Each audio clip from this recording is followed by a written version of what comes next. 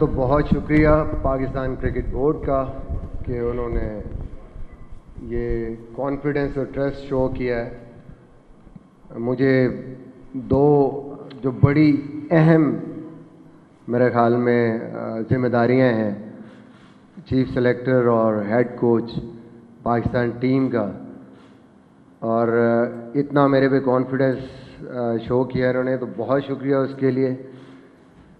سب سے امپورٹنٹ چیز میرے لیے، میری زندگی میں، یہاں میں آج جو بھی میری اچیومنٹس ہیں ایز اے کرکٹر جو کچھ میں نے اچیو کیا ہے، اور آج اس جگہ اگر میں پہنچا ہوں، تو میرے خیال میں پاکستان کے نام کے بغیر کچھ بھی پاسبل نہیں تھا۔ ہماری بات بھی جو ہوئی ہے، تو ڈائریکشن آبویسلی ہیڈ کوچ دیتا ہے اور جو بالرز ہیں ان کی بال دوڑ جو ہے وہ ان کے ہاتھ میں ان کے جو پلانس ہیں، کیا مجھے چاہیے؟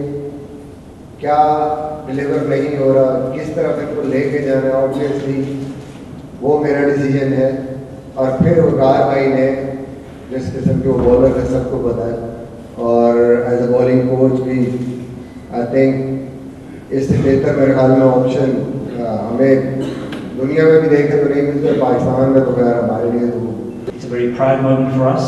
ہم یاد کرتے ہیں 2010 جب مصباح مین میں آئے تھے تو حالات بہت خراب تھے۔